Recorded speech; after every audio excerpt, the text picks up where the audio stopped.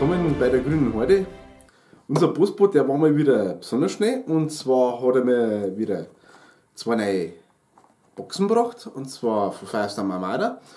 Die Ren System Navy kriegt momentan ein, sozusagen eine komplette Überarbeitung und äh, wird komplett ausstaffiert wieder mit neuen Modellen und zwar einmal bekommen sie die Kreuzerbox und einmal eine Destroyer und Frigate Box. Die beiden Boxen sind am 25. Äh, released worden und heute schon bei mir. Die packe ich euch für, heute, für euch heute aus und schauen wir mal, was So, dann ist. fangen wir mal mit der bekannteren Box an und zwar mit der Kreuzerbox. Die sind ja schon bereits enthalten in der Petrol Fleet Box. Die habt ihr bereits äh, in einem Unboxing bei uns gesehen, aber nichtsdestotrotz kommt jetzt die Box der Kreuzer einzeln.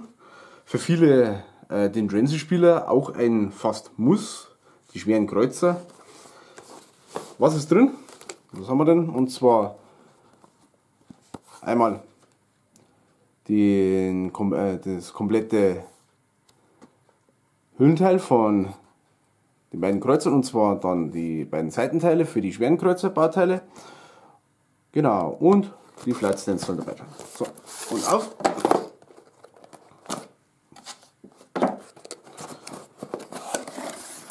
Was haben wir drin?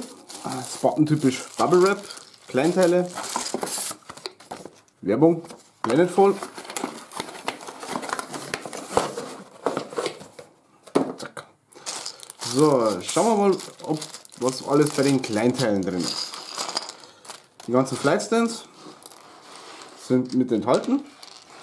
Dann haben wir hier mal, schauen wir mal, drei kleine Flightstand, Flight Packs.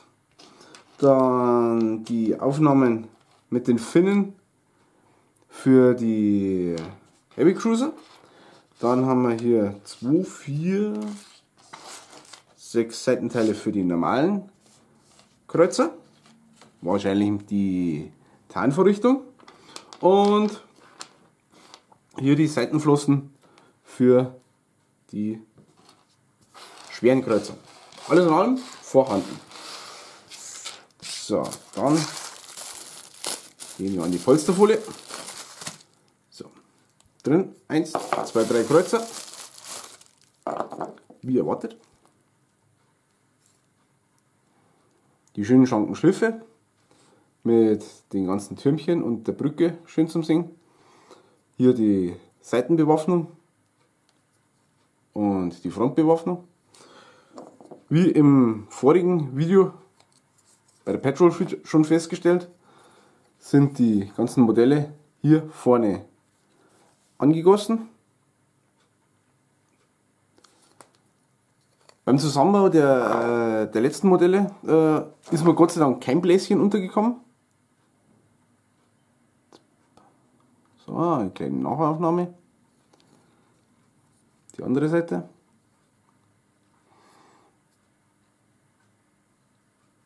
Wenn man selbst, weiß nicht, sieht man es ja. Und zwar, wenn man in die Seitenluken reinschaut, selbst die sind vertieft und modelliert. Anklebestellen haben wir für die Seitenteile und für den Flightpack unten wenig, relativ wenig Arbeit. Außer hier, hm, Moment, falsche Drehung. Außer hier äh, ein bisschen was wegfeilen, wegkratzen, aber feit nichts. Ist bei den anderen Modellen relativ leicht gegangen. Ja, alles in allem. Schöne Modelle. So, auf zur nächsten Box. Da sind jetzt neu drin die Destroyer. Rein optisch gesehen, äh, ähneln sie den äh, schweren Kreuzern. Die Fregatten sind äh, schon bekannt aus der Box, aus der Petrol Fleet. Und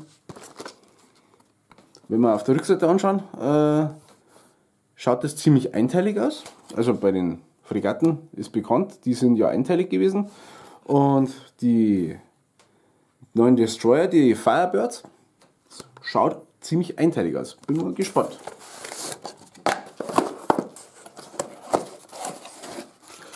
So, was haben wir dann? Einmal Bubble Wrap kleine, einmal Bubble Wrap große, Flight Stands und, ah ja, hier sind die Aufnahmen für die Destroyer drin. Auch wieder dabei, Planetfall.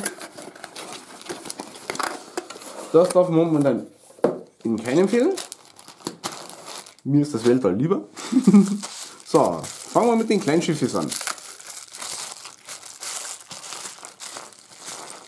So, da haben wir drin unsere vier Fregatten. Alle vier enthalten, wunderbar. Jetzt schauen wir mal, die Angustelle ist ja bei denen auch wieder vorne. Jetzt schauen wir mal, bei dem feit nichts. Beim nächsten etwas, ein, hier ein kleines Bläschen. Und da feit auch nichts. Aber hier, ich habe immer das Glück, dass ich einen mit der dicken Blase erwische. Da habe ich immer Glück. Okay, Green Star frei und dann wird das hinhauen. So, was man hier an der Seite sieht man ja schön die Bewaffnung. Jeder den Drancy-Spieler, der freut sich schon auf solche Fregatten. Und zwar können Sie ja den äh, Frontbereich, die Vorbewaffnung in 90 Grad abdecken und die beiden äh, Backbord, also die Steuerbord und die Backbordseite auch jeweils mit 90 Grad bestreichen. Also man kann im Gegensatz zu den, den Renzi eigenen Fregatten äh, drei komplette Feuerbereiche bis 20 Zoll abdecken. Äußerst, äußerst, äußerst hilfreich, diese Fregatten. So, dann haben wir die Destroyer. Hey, was ist das? Dunkles Resin. Moment. Ah, hier Eis am Stiel. Seht ihr das? Das ist ein dunkleres Resin. Schauen wir mal. Haben wir mal einen Kreuzer dagegen. Sieht man, ja, da sieht man nicht. Hm, Moment. Den Farbunterschied schon. Da ist äh, ein anderes Resin zur Anwendung gekommen. Wenn ich mir jetzt die so anschaue, wow, die Seitenteile sind auch recht schick. So, schauen wir uns die, die drei Modellchen mal hier ein bisschen an. Bei dem sieht man es natürlich richtig schön. Wo ist, die, wo ist der Angusspunkt? Natürlich vorne. Ähm, Finde ich immer suboptimal. Haben wir gesehen an der Fregatte, äh, die eine dicke, fette Blase. Naja, nicht sehr schön. Schauen wir mal. Die Unterseite, ja, die Anklebestelle für den Flight Stand. Ein bisschen Seitenbewaffnung. Der Destroyer, glaube ich, ähm, hat ziemlich gute Vorbewaffnung und auch Torpedos. Ich glaube, Seitenbewaffnung keine sogar, meine ich.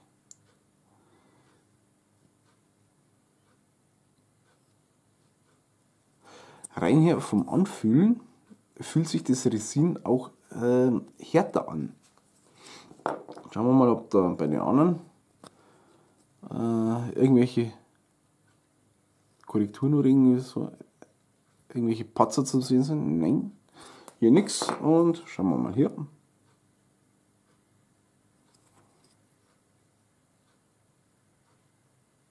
Auch nichts zu sehen. Ah, da, da ist ein Luftblaser eingeschlossen gewesen an dieser Flosse hier, aber sonst nicht. Ja. Richtig schöne Modelle. Ja. Somit habe ich jetzt dann im Grunde das komplette Sortiment der Rens System Navy abgedeckt. Alles was es so gibt. Nach dem Zusammenbau schauen die Modelle halt folgendermaßen aus.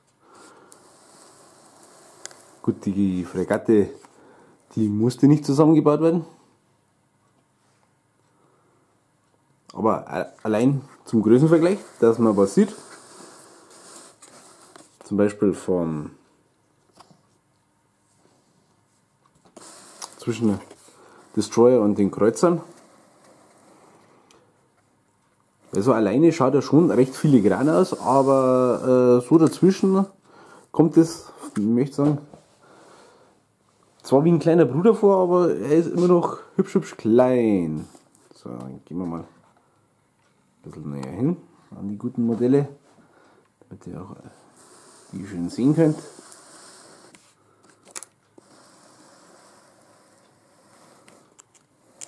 So, dann drehen wir das Ganze einmal. Kommen wir zum schweren Kreuzer. Mit der Fregatte.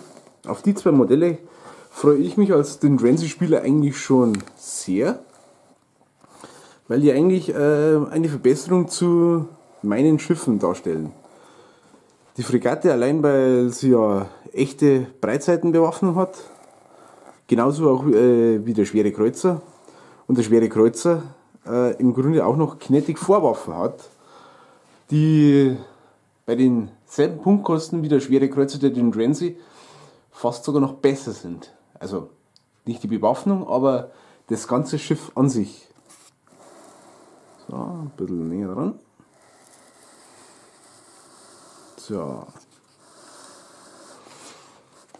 Und dann gehen wir mal wieder ein bisschen raus.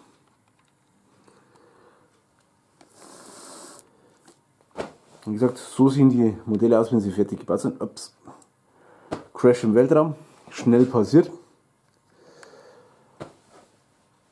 Somit danke ich euch fürs Zuschauen. Ich hoffe, dass ich euch äh, mit den neuen Modellen eine kleine Freude gemacht habe. Und mal schauen, wie lange ich brauche bis zum Bemalen. Also ich hoffe nicht, dass es Weihnachten wird, bis ich die bemalt habe. Aber hm, wer weiß, life is ja bitch. Und ja, wie gesagt, äh, hoffentlich kommt im Sommer mal ein kleiner Badrap mit meinen Rents. Würde mich selber auch freuen, weil die Schiffe haben mir von Anfang an immer am besten gefallen. Und ja, wenn ihr Kommentare da lassen wollt, schreibt uns einfach. Wir von der Grünen Horde sagen leise Servus und bis zum nächsten Mal, wenn wir wieder irgendein Unboxing, einen Battle Report oder auch irgendein Brettspiel haben. Danke fürs Zuschauen, euer Everlast. Für euch!